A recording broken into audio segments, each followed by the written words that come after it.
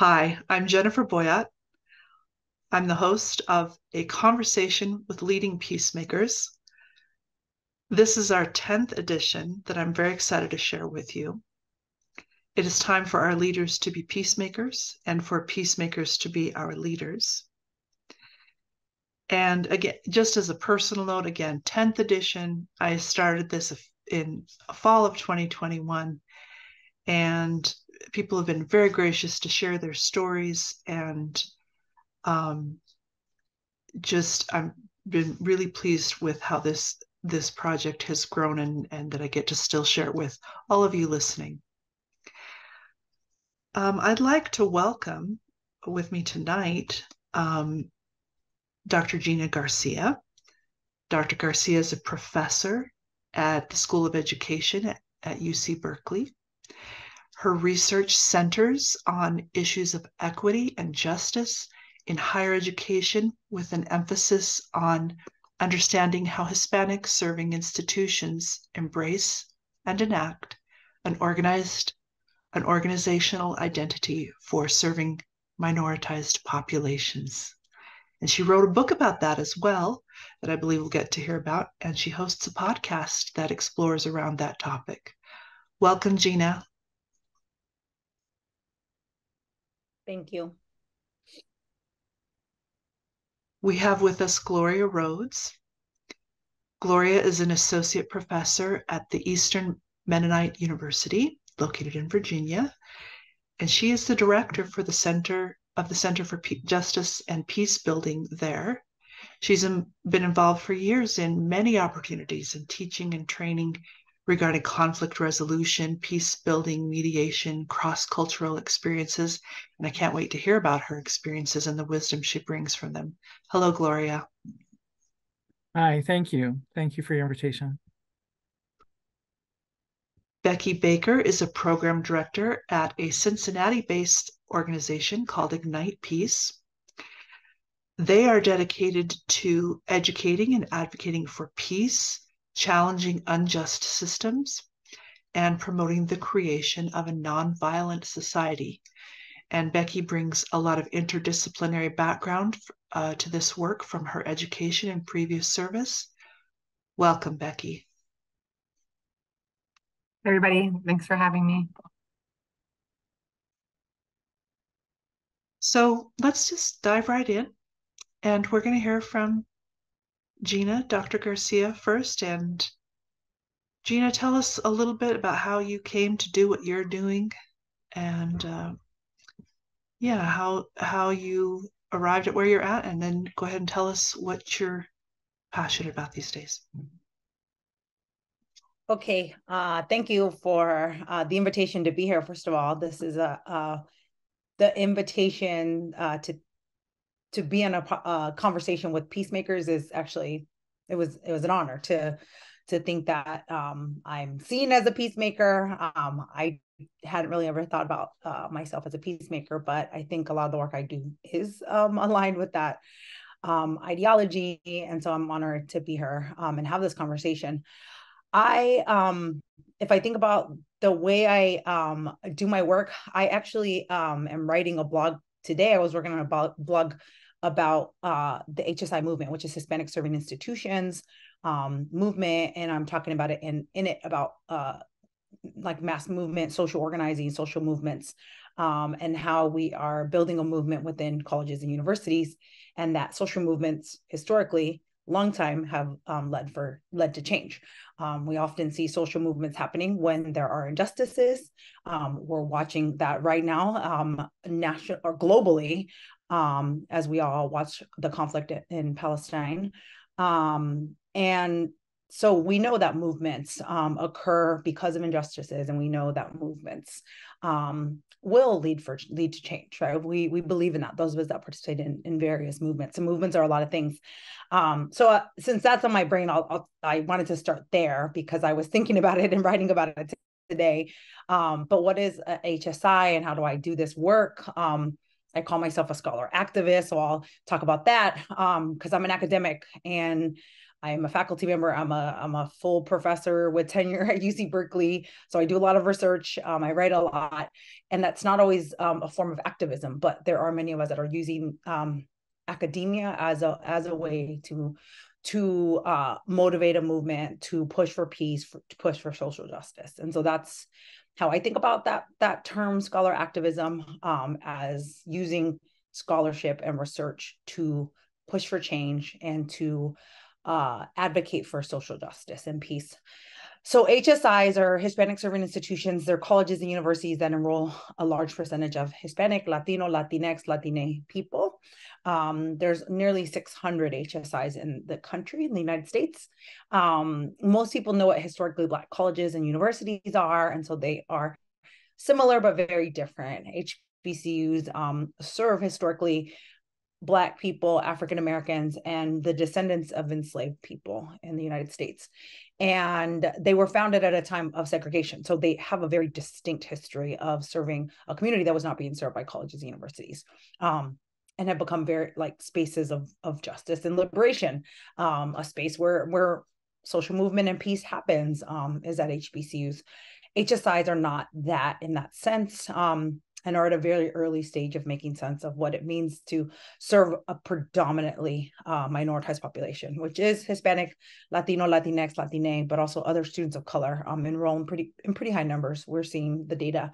Um, these are institutions that also enroll a high percentage of low income students, undocumented students, first generation students, housing insecure students, food, food insecure students, some enroll um, higher percentages of formerly incarcerated people, people who have been minoritized um, in educational systems and were not admitted into educational systems. So HSIs are a place that are um, providing access to people that didn't always have access to higher ed, but we haven't fully um, come to terms with what that means for a, an organization for colleges and universities. So many colleges and universities don't embrace that term despite the fact that it's a federal designation and many people have it many campuses have it. A lot of people don't actually know what it is. Um, and so those of us who are part of the hsi movement are pushing us to to have a, a greater understanding and a greater um, awareness of what it means to serve a group of students who, who have historically been underserved by educational systems. And so that's where all my work is. My research is all about making sense of HSI. What does it mean beyond uh, 25% enrollment? And what does it mean beyond federal dollars? Because there are funds that go into HSI work. Um, and so really thinking what does educational liberation look like? I talk a lot about educational liberation. If education ed- educational spaces were spaces of justice and liberation, what would they look like? And so we're trying to conceptualize that. My my research works on that, trying to conceptualize that, and at the same time understanding that colleges and universities uh, want a quick solution or a checklist. I was with the campus earlier this week, and it's like they want a checklist, right? Like just tell us what to do to do better and it's just not that kind of work. It's definitely it's long term it's uh, change it's organizational change it's social movement um, and change doesn't come quickly. And so that's part of, of, of being a part of the hsi movement um, and being a voice in the movement is that it doesn't come easy and we have to sort of embrace the process and also embrace the conflict which i think is part of um, peacemaking right is also knowing uh, that there is conflict. Um, so that's a little bit about me and currently what drives me. Awesome. Thank you gina. Bekky would you share with us your story and your work yeah, sure. Um, so yeah, hi everybody. I'm Bekky. Um, I work at uh, education and advocacy organization in Cincinnati, Ohio, called Ignite Peace. Um, and through that work, I do um, some anti-racism work. We have a docu series called Race and Racism in Cincinnati, which shares the people's history of how race has um, affected our city's culture and neighborhoods and education system from its founding all the way up into present day. Um, and I also I'm working in the death penalty in Ohio, as well as uh, we do uh, our framework. We do all our work through a framework of nonviolence. So it's like sharing and teaching about what nonviolence is and um, inviting people into that space. Um, I uh, I feel like I kind of came into more like my understanding of peace work or nonviolence work um, uh, through more like racial justice work. should I just like I think backwards about how I ended up where I am. Um, I think that's really kind of where it started. Uh, like I remember protesting for Eric Garner um, and joining SURJ around that time and doing those that type of work. Um, when I was younger, I uh, thought I wanted to be a journalist, but that did not work out the way I wanted it to. Um, when I was in college, those like the journalism sphere was rapidly changing. Um, and I ended up joining AmeriCorps, where I worked with um, families in foster care through children's services, and then I worked at a food justice nonprofit. And those two things made me kind of realize that I could still be enmeshed in like people's stories and people's um, like the human experience and be doing like really cool things. Um, so I worked at Children's Services for a while and um, uh, did a lot with like families in foster care um, in rural Appalachia, and um, came to realize that like kind of I was like working within a system that was perpetuating the problem. And I was like, oh well, I'm gonna go to grad school and I'll figure out how to, you know, solve these things. and went to grad school um, and uh, for social work and became a school social worker after that um, and then came into this job. And i think what really drew me to this job was the racial equity work um, and have since grown to understand you know how what nonviolence work is and what's it about what it's about. Um, it's really the presence of justice right? and it's um, being active in your community and um, providing, radically imagining a different way of being than we currently are, um, which is really exciting for me about peace and nonviolence work. And like the, I've had someone say before, you like, we have the like we're going to keep trying, we're going to keep working to create this new world. Um, we we're gonna mess up and that's okay. Um, but to know that like we're all trying to do this together. Um, I feel like I've been asking, like people have been asking, you always have these like stories of how you came into like doing this work, you know. Um, I think I recognized early on what it meant to be a girl um, through just some experiences I had. And um, I think that is kind of what propelled me to be able to recognize other um, situations of injustice. Um, I think I also grew up with like my dad and my mom were always just they were just like this inherent thing that you like help other people I, like um, I don't know if help is the right word that but that like it's good for you when other people are doing well too right um like I don't know I just always remember I remember you know we pulling over to the side of the road to help people like my dad distinctly like with this woman who with a kid a bunch of kids and had a flat tire like I remember that I remember um, this man who was trying to sell this ring at a gas station one time, and my dad just pulled cash out of the wall and says, "I don't need the ring. Like, just I hear that you need money. Like, take this money." Um, and I, I, I yeah, sorry, I feel like I'm rambling now, but um, the help that is not. And I, when I hear the word help, I just really I don't like it. But I just when I think about um, like the kind of community I want to live in, I'm always thinking like, well, what would I hope that someone would do for me? Um, and that's kind of try how I try to navigate it. Um, I'm really excited about kind of the doors that like Ignite Peace has opened um, to really understand how um, systems intersect. Um, and the work of Mariame Kaba has been pretty um, enlightening for me too, just to like radically be thinking about um, how we can transform the space we're in, um, especially bringing other people into the work too. Uh, is really exciting. So that's my little rambly intro. Thank, Thank you, Bekky. Gloria, tell us about your journey and and what you're in the middle of right now. Thank you. Um, yeah, I I've been inspired by listening to everybody else, and I'm thinking, wow, I've got to add things to my story. Um, I'm currently serving as academic director. I'm not serving as the director, but we currently do not have a director. So, in a lot of ways, I am really serving as um, director of the Center for Justice and Peace Building. It is a center that includes practice, but it's also a program that uh, at our university offers three graduate degrees um, one in conflict transformation, one in restorative justice uh, graduate degree, and one in um, transformational leadership.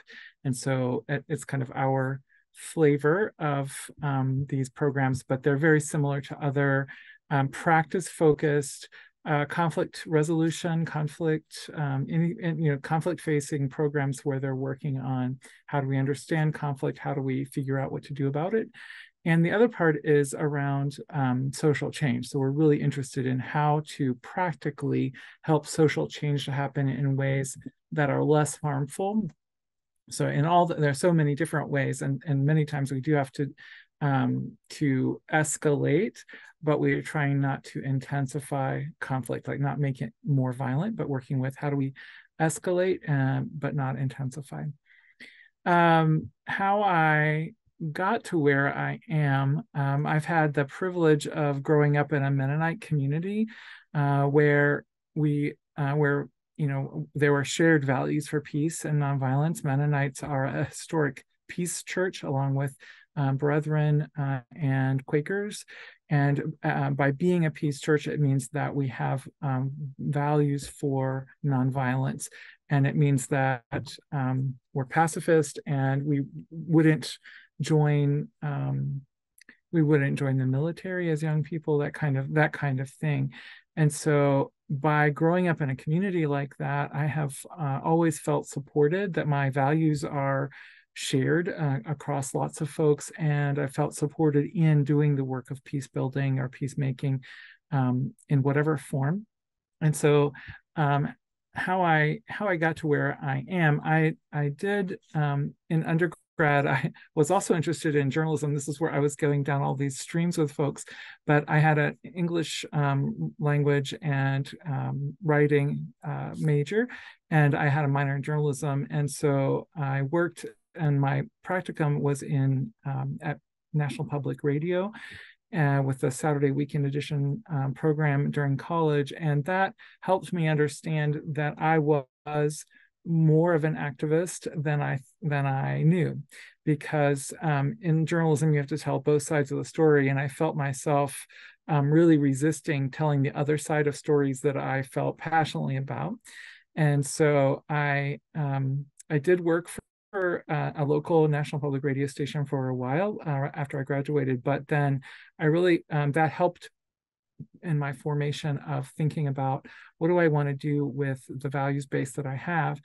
And one of the um, one of the really most important stories about why I'm where I'm at was that I was um, also really uh, interested in the story of people in Russia, and so this would have been in the um, 19 this was I, I, will reveal my age if i say but so in the late 80s and the early 90s and so um, after there were lots of shifts with uh, the cold war the you know the wall fell in um, berlin um, then I, I really was curious about what's going on in Russia. So I, I took some time. I spent um, supposed to be there for a year, and I, I was there in the summer of 1990, and then I was supposed to be there for a year in 1992. Um, I ended up not being able to go quite the whole time because there was it was so much on, on, instability. But when I was in Russia, so I'm telling this little story. This is why after Russia I came back and uh, changed where what I was doing with my life. Um, so in Russia, I was in a city of uh, one and a half million people, and I was te- in a university where I was teaching English, and I was helping with uh, especially um, business English writing but I was also doing a whole lot of other things, whatever people were asking for, because this city was a closed city. It had been called Gorky. It's now Nizhny Novgorod. And um, as a closed city, people had not heard uh, English spoken as a first language by by anyone really that hadn't heard native language native english speakers. And so um, anytime that we would uh, there were four of us at the university at that time and we were all from christian college coalition which is a, an organization that my university is part of. And so we the four of us who were there one was teaching american history one was uh, working with um, cross-cultural programs and i was working with cross-cultural programs that's what they were called at that time but i was also teaching english. And so but um, one thing that the four of us did together was a bible study which was really interesting because it would be packed out totally and people would be there from all all stripes all backgrounds of you know of anything that you could find in a big city in russia. Um, and they were there to listen to us talk about uh, anything as long as we were talking. and so um, there was one particular week when I was um, I was alone. I was 25 at this time, so I was alone in the front of the room. The, the students were about um, most of them were 17 or 18, and um, there were probably 50 crammed into a college classroom. And um, I was talking about the Mennonite peace position at that, that night. And I was um, talking about um, things like how do we how do we um, engage with others where, where there's conflict. And so there are scriptural references to that in the Christian scriptures. And so I was talking about those kinds of things. And there were two very large Russian um, young men who um, started having a very heated discussion in the back of the room, and they were they were talking about what I was talking about, but they were talking in Russian. And my Russian it was pretty good at the time, but it wasn't perfect. And so I was listening. Uh, you know, paying attention. I was trying to do my thing, but these guys in the back, these two guys, um, they they really got louder and louder so that it became that I couldn't ignore them. And they were right in the middle of the classroom in the back. It was standing room only, lots of people sitting in the aisles, that kind of thing and these two guys that was the kind of chairs where there's a little arm around you it's hugging you and you and you write on your little desk and so these two guys were sitting in these two desks and they kept um, they were in rows but they kept turning more and more to each other and and i was watching this happening and i'm you know i'm 25 i'm little gloria rhodes the pacifist standing in the front of the room and these two guys started getting so heated that they jumped up out of their seats and the you know how when you stand up out of one of those seats they kind of stick to you for a minute and then they fall down and then they were at each other and they were really fighting and, and one of them was a russian orthodox guy and one of them was a, um, a varsity christian fellowship guy and they were fighting and that that moment where I, I was standing in front of this group and i and I was saying peace, and you know the scriptures say peace to me, and I'm a pacifist, and these two guys are fighting in a Bible study. I, I was like, I, my, and so you know all the other kids that were in there, some of them were my students in my English classes, and they just like pull these guys apart and they they sit them around, sit them down, get them quiet, and then I don't remember what happened next. I don't know, remember what I was saying and how we sort of resolved it. Now I would maybe know what to say more and how to have a conversation about that, you know, 30 years later. But that um, that incident made me realize that I was afraid of conflict. And I knew before, kind of, I always avoid, you know, if you're a pacifist, you kind of avoid it, right? But I I decided that that couldn't continue. I had to I had to know how to deal with conflict if I was going to talk about peace. So when I um, left this uh, Russia at, at, that time, I'd been in Soviet Union before, but when I left Russia, I came back home. I canceled my literature um, applications to grad school. And I was like, well, that's going to be boring literature. I can study conflict resolution or conflict. And I applied to um, a doctoral program or master's degree program first at uh, George Mason University, which is in Fairfax, Virginia. And they had a program called Conflict Analysis and Resolution. And I said, yay, that's for me. Um, and so um, that and that's actually the only grad program I applied to. I was just hoping I'd get in.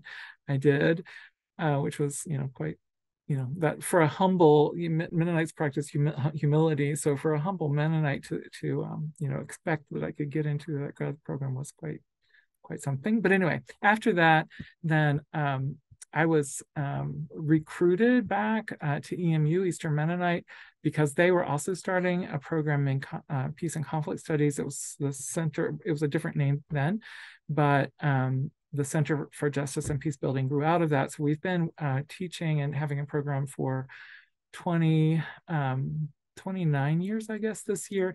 And I've been uh, at EMU uh, in my career for 31 years. So I've been here a long time. We've been um, developing and, and changing and growing uh, in all of that we do. Um,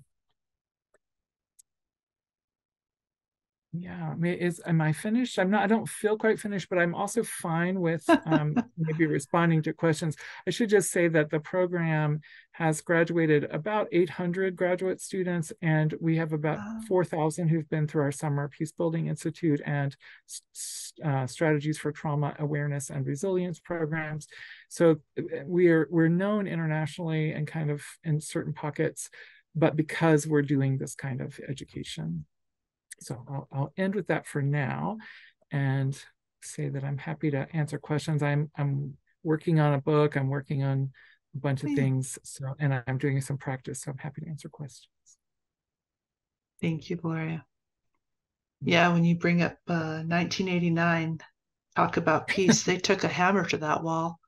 I just graduated high school, or I don't know, I can't remember which month it was, but that was the year I was a senior. So that's the way you start your adulthood watching them take a hammer to injustice at least symbolically. I mean obviously you can't do it all in one thing but it was quite i have a piece of that wall here on my on my oh, desk wow. it's very yeah. Um, it's very it, you know there it's it was sold at a certain time piece by piece as a tourist attraction but it just it does feel very meaningful to me to have a piece of this wall that was knocked down. Wow.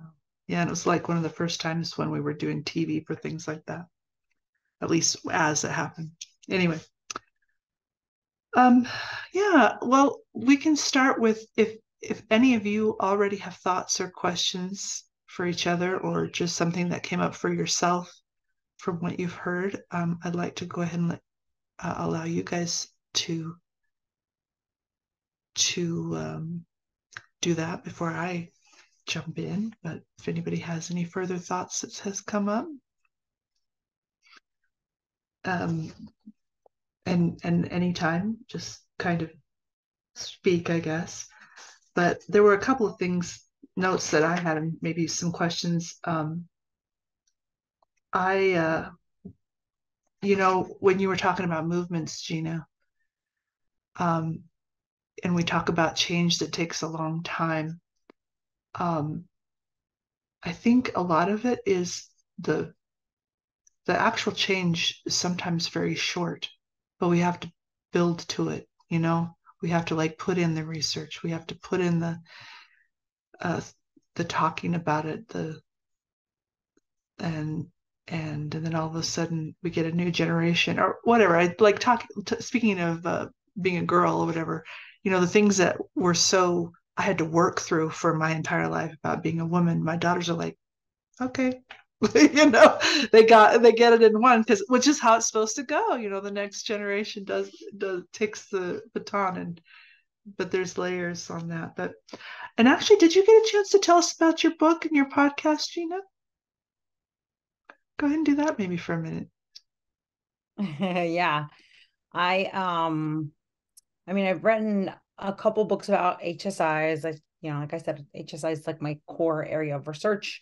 Um but the most recent book, Transforming HSIs for Equity and Justice, I provide a model. Like I said, mentioned in my intro, um, people want like a framework. They want like, how mm-hmm. do you do it? Um, colleges and universities are interesting organizations because they're really big. Um, and and we, if we compare it to like a lot of spaces where um, organizing happens, it's often um, smaller grassroots um, nonprofits, right? That can move and are much more nimble and much more easy to change. Colleges and universities are the opposite of that. They're very set in their ways and are not interested in changing. Um, yet some of the most substantial changes um, over time that many of us have seen like stuff that came out of the civil rights movement for example gender and women's studies program ethnic studies programs um, those were results of social of social movements. Um, so i in the book transforming hsis i give uh, colleges and universities a framework and say if you want to change here's some things to change. Um, here's nine dimensions of the campus that you can consider. Um, and i also give a nod in the book to grassroots organizers or grassroots leaders who are the people who are within the organization trying to change it.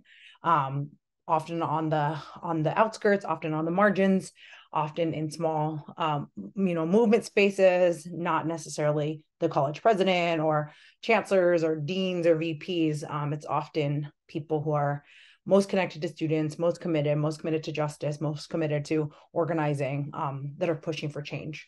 And so I give a nod to folks in the in the book about that as well, um, acknowledging that that's some of the best change work that we're seeing happening in colleges and universities is often from smaller movements, um, not necessarily from um, the higher ups. the higher ups um, don't always align with justice. I think, um, you know, I mentioned right now we're all witnessing uh, globally um, a lot of movement um, to support Palestine, and colleges and universities are shutting a, lot of us down. Um, faculty are being told not to speak out. Faculty are being told not to organize. Faculty are being told not to um, participate in marches and rallies. Um, and colleges and universities historically in the US are not about that. We're actually spaces where you're supposed to be able to organize and speak out for what you believe is right, right? And that what you believe is right can be in opposition um, to somebody else on the campus that you fully respect and that we should be able to have a space to talk about that in a in an intellectual way. Where colleges and universities. We should be able to intellectualize that. We should be able to be peaceful with each other um, and we're just not seeing that. And so it's um, a little bit saddening i think um, that that's the case that we're not seeing um, at least colleges and universities allowing for that space um, a safe space for us to have important critical conversations. This is that's that's where we should be able to have it. Um, and i think that's why i talk about educational liberation. Is like liberation would um, in an educational space would allow us to talk about all the complexities of any sort of conflict um, in an intellectual way without people feeling harmed um, or and or threatened, uh, which I think is what's happening. Um, so it's sad. I think we need a lot more peace right now. I think there's not enough peace um, making going on uh, within a time that is the conflict just keeps getting more and more intense. Um, you know, Bekky, you mentioned like the racial justice movement, right? Like that 2020 i think all of us would argue that summer of 2020 was such a, an important moment for many of us um, who do this work and we it moved us towards racial justice right? Um, many of us were already doing that work anyways but it, it, really sort of took a collective look at like no that's the framework. That that has to be different. It has to be um, you know racial justice.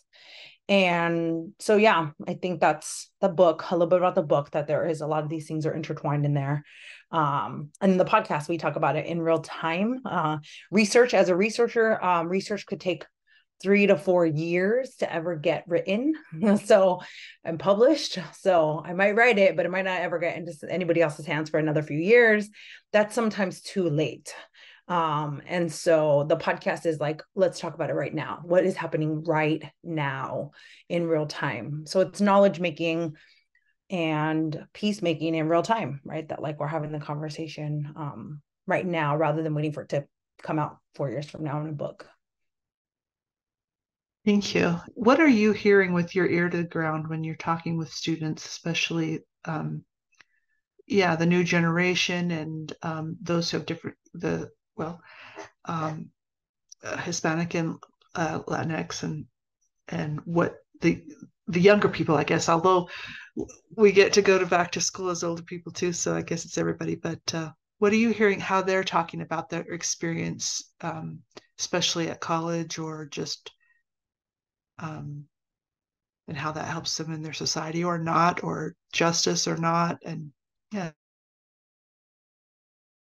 Most of the narrative right now is trying to create spaces of belonging right? There's a lot of conversation about belonging and i dispute that because i don't think that there most people feel like they belong on colleges and universities. Um they're just not that space that we feel like we belong. Um most people don't feel worthy in colleges and universities many of us that make it even up to high ranks like a tenured professor continue to feel like i don't really actually belong here somehow i got here um I got I slid through. Nobody saw me. Um, actually, you know, making my way through. yet we are worthy and we do belong, um, but we just are often made to feel like we don't belong. And that's many, many people in colleges and universities. So um, I think the narrative really is that like how do we actually change colleges and universities to be better spaces of justice, better spaces of belonging, uh, because they just aren't for most people.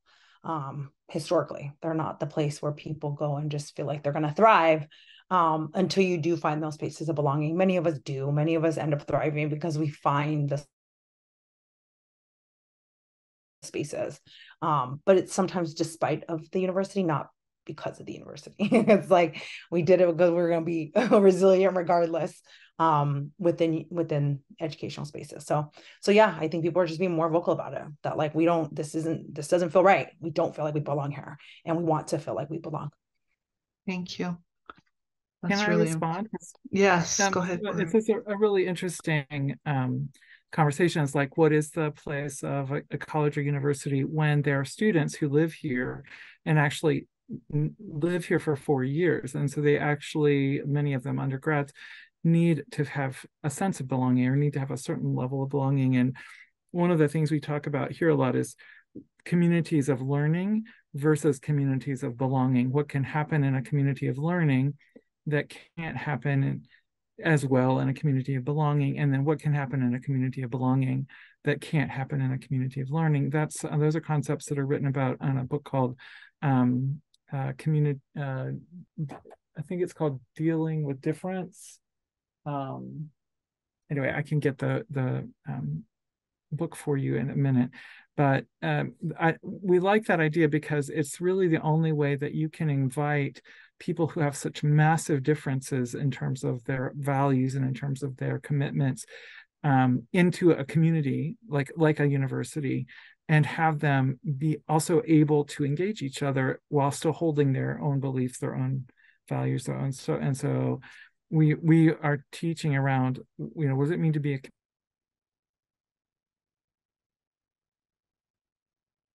needs met, right? How do we find a community belonging? It's kind of like what you're saying, Gina, that we we must have some belonging, but we also have to have the ability to have these difficult conversations across social divides, and we have to be able to challenge each other. I mean, that's what we're talking about and thinking about all the time. And so what I was going to say is that I'm at a very small university, and so that it actually makes a big difference at a small university we can be very nimble we can have conversations we're bumping up against each other all the time and so we have to have this conversations. But the problem is that a small university um, very quickly acts like a community of belonging. Right. Mm-hmm. And so, and then it's very clearly that they're outsiders, they're insiders. It's it's even felt more intensely if you don't belong.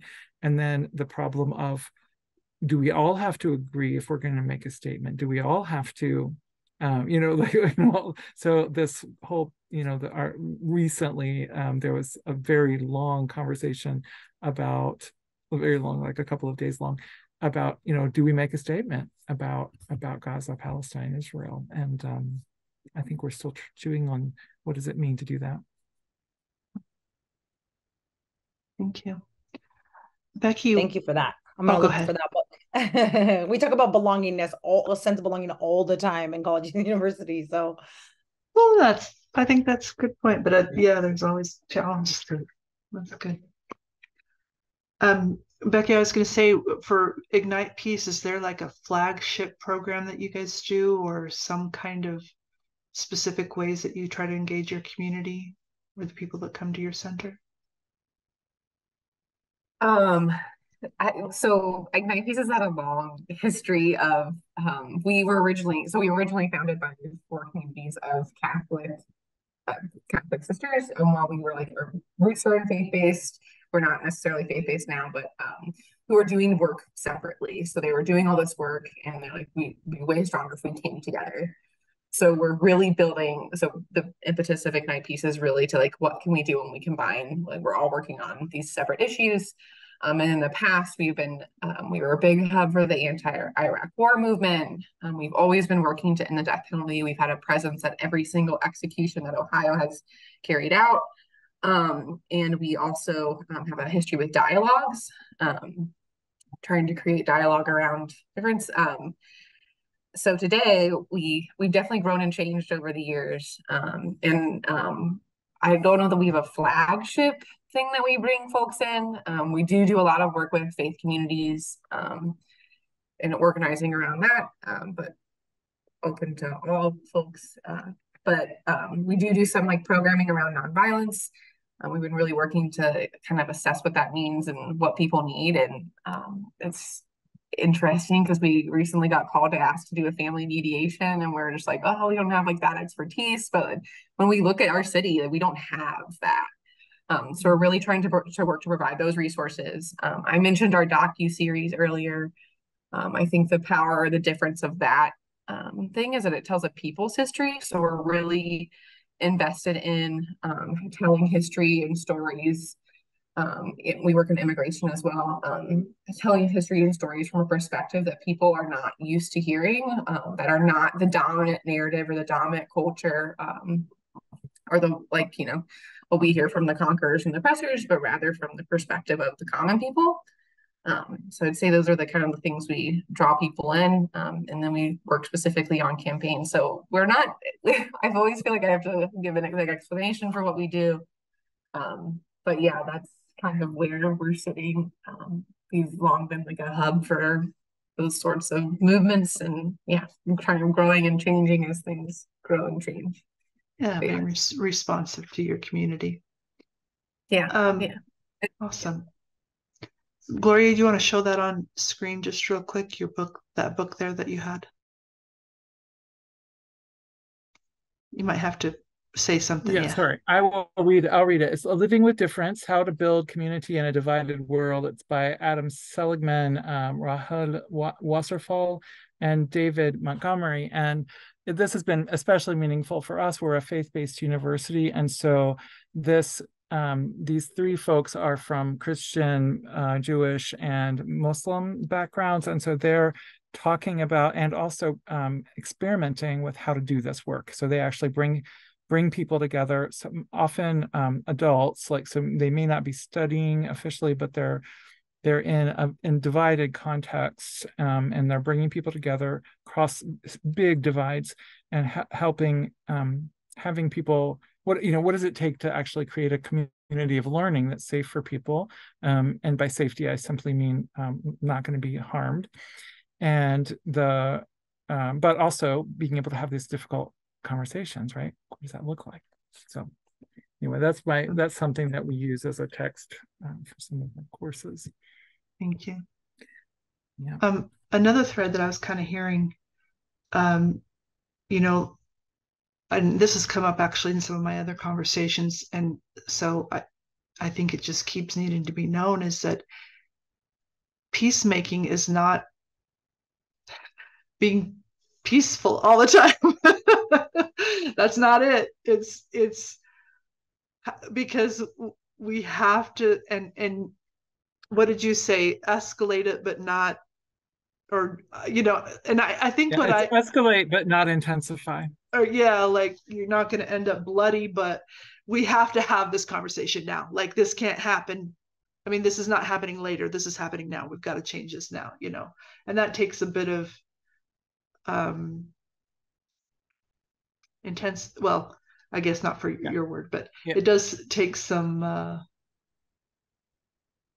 the com- discomfort. I guess is one of the words we've been using in our in our uh, social conversation. Um, but yeah, I mean, so that's that's always good to remember. It's not that we're not gonna have to figure some things out or have emotions involved or um, but it's in a way that we can have maybe some mature skills or just give each other the benefit of the doubt. I don't know if you guys have all, any all thoughts about things. that. Yeah. yeah, all those things. I think that the difficulty has always been that you know everybody has a different idea about how things should be done, and so that itself is causing conflict. But what we're what we're you know we're these little this little peace church with you know who are Mennonites quiet in the land kind of people, right? But we're really about like looking at the whole spectrum of how social change happens and sometimes we have to have social movements i mean it's really often the only way things get done uh, and justice to be addressed and so we're also can't have peace without justice people I mean, we, we, I mean, very intently, right? That this is part of our our theology, even that, you know, without justice, peace is not possible. And so the the working for justice is going to take all the different all the different mechanisms that we can do.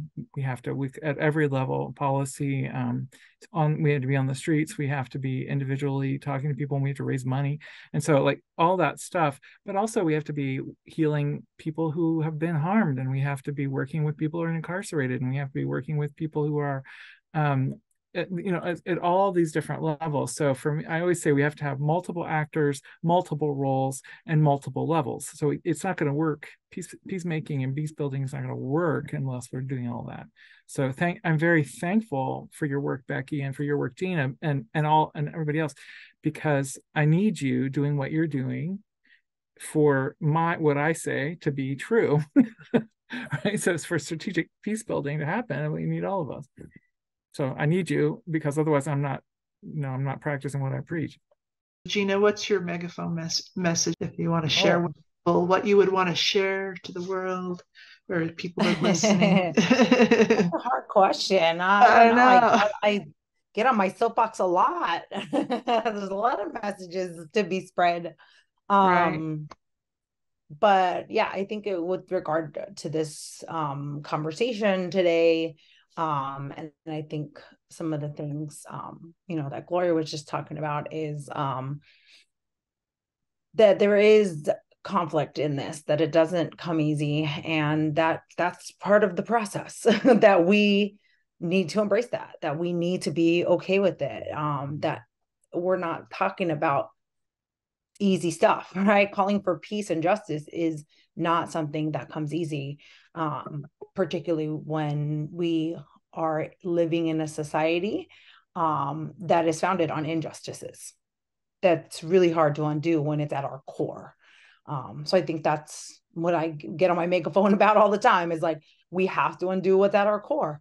We have to remember history. We can't forget history um, because history continues to repeat itself we watch it over and over again and the same results happen um, which is that injustices um, you know hurt harm those that are are have the least power and who are the most oppressed. Um so yeah we need to we need to undo at our core historically who we are in order to really advance um, a peace and justice movement. Thank you so much and thank you for being here with us um, well, honestly, I think there was one more thing that kind of came out for me. It's when you were talking about helping Bekky. Um, it's kind of that's a hard question, or not hard question, hard conversation these days too, because we've all had to learn, um, and maybe more the colonist side of things than anybody, but um, that people can come up with their own structures, their own solutions, their own way of living. They don't need that dictated them by people helping. You know what I mean? So there's that. At the same time, when I think about if we had a world where nobody helped, that's also not where we want to go. you know, because because uh, then then it's like, where's the help? You know.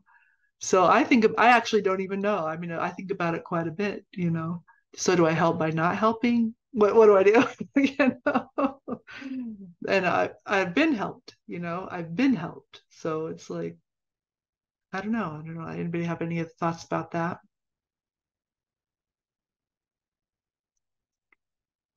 Yeah, I guess um for me, like I think, you know, learning like being in community, I think it's been really also really helpful for me to know when I need help and ask for when I need help. Um, but I guess also like when I think of what I was trying to say too is just like I think being um being like installed in community is what I think I was sort of what my parents were trying to show me. Um, these are like silly things, but I've just had to think about, especially not lately. So like, I just remember my mom always, she would always make it a point that if I had a birthday party, every single kid was invited, like that sort of thing, if that makes sense. Um, and because she didn't want a kid to feel left out. Because there were times when she felt left out, she, you know, like that sort of thing. And I think about my like my um, aunts and my dad telling stories about like this small rural town they grew up in, and church for them was a very active thing. Like they talked about like sewing quilts and for people because people would need the quilts. Um and so like when your your mindset is community rather than like individualism i think that's where i guess the help i guess comes in right? Like it's it's about the like what am i doing for the community um rather than like how what is benefiting me the most i guess. So i guess that's kind of like where i'm trying to go with that. But um when we start to think of it that way rather than thinking of just who am I and what do I need and rather what is the benefit to the community is kind of where I yeah see that going I guess a bit. Um yeah and in my work with the definitely like to connect to that like often those people are the most like forgotten you know just people who are incarcerated like discarded and pushed off um yeah and when i think about how do we prevent you know the death penalty from happening in the first place it's like what are we doing to prevent the violence that has been caused um, to those people who then go and harm people right? Like violence begets more violence. But yeah um, yeah those are my thoughts on that. Yeah. Thank you yeah can i just add that how i tend to think about it is that um, human beings have to have other people to meet their needs. We can't meet our needs alone. And the problem comes for me uh, is that we all have strategies for how we want our needs to be met. And that's what gets in conflict with each other. This is from Nonviolent Communication, um, Marshall Rosenberg and Compassionate Listening book. Um, that that we have these great strategies for meeting our needs. That's the way we want it done, and oftentimes that's not what the other person is capable of doing or wants to do or whatever. And so as we are thinking about okay what are the needs we always put out there like how my needs are solved my strategies for my needs and that's not right for it's not right for anyone else and so eh, people with power can do that and say well how i get my needs met is this way so you, you should too or and i want you to i want you to benefit this way um, so it's really about listening it's about um, and, and really I keep saying humility and it's not just a Mennonite thing, but it's it's the humility to say, you know, I'm I'm I can be wrong. I'm not the one who knows. So, you know, I can help you. I have funding or I have whatever. Um, so I can support, but I don't know. I don't know about what you need. So, you know, how how can I best help that that kind of strategy? Now, again, even I don't know how to do all of that right in every community because context matters. So, you know, somebody else's context i shouldn't be even offering unless i know what what the context is and but to offer to help help me other people's needs in the way that they need them to be met not not my way that makes sense when i think about that that's cool mm-hmm. Well we've already had a very nice conversation and Really loved hearing from each of you. I'm going to let uh, Bekky, what's your megaphone message?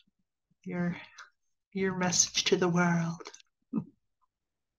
Um, I think that my megaphone message would be uh, to keep like, you know, radically thinking about what like an anti-racist world or a peaceful world will look like and when you really think about it, like what is present there? Um, and then think about how we get there because like when I think about it, it's you know, people have health care, um, people are not hungry, right? Like we have um, things that we need. Um, so I guess yeah, that's mine to radically keep thinking of a different way of being um, and to like hold on to that hope because um, you know I think I I often get pessimistic and cynical and you know does anything matter? Um, but that hope is like an active thing that we can like keep living into, um, and that we can you know keep imagining a new world together. And yeah, I think that's a little easy, but that's I think what my megaphone message would be. Thank you. Yeah, I always say, you know, if I ask myself or if other people ask me, is peace possible? It's like, well, it for sure isn't if you don't think it is.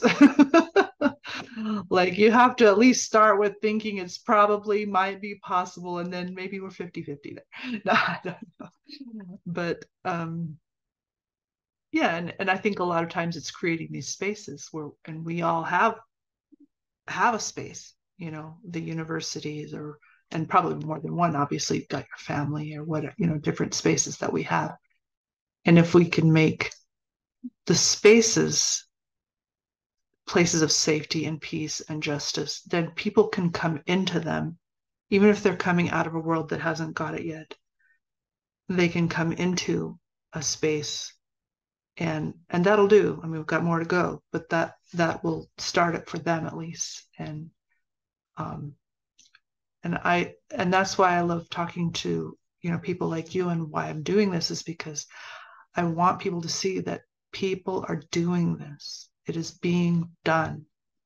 It is here. We're not we're not done but um there's so there is a lot out there and it just need, the word needs to keep getting out um gloria what is the your parting wisdom for listeners I like the the words megaphone better than parting wisdom because it, it, it, puts a lot of that's puts a lot on me. I mean, that's so so stressful, the wisdom part.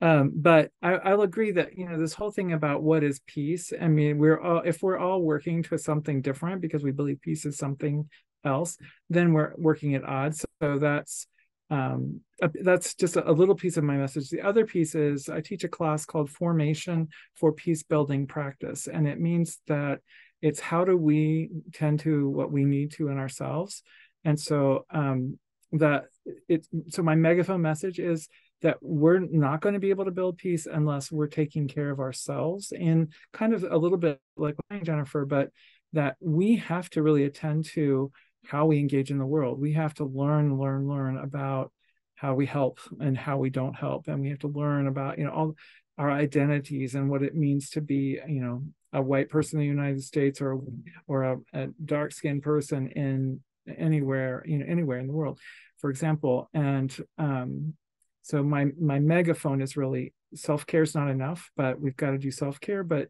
also we have to do a lot of it we have to do a lot of self-education uh, educating about what what is peace to me?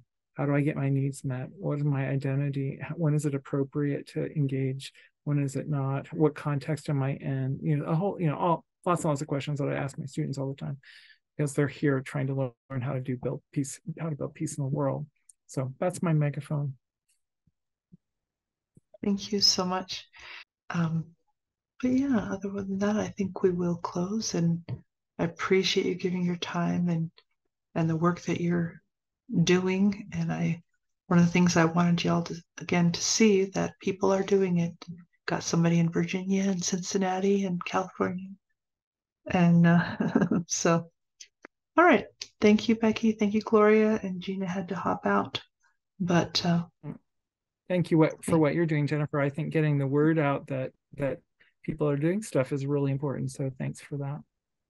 Yeah, thank, yeah, thank you. It's yeah, it's really cool to hear what other people are doing too. I, it's exciting and yeah, makes me feel better. Yeah, more hopeful. yeah, I think we need it. All right, we will say adieu.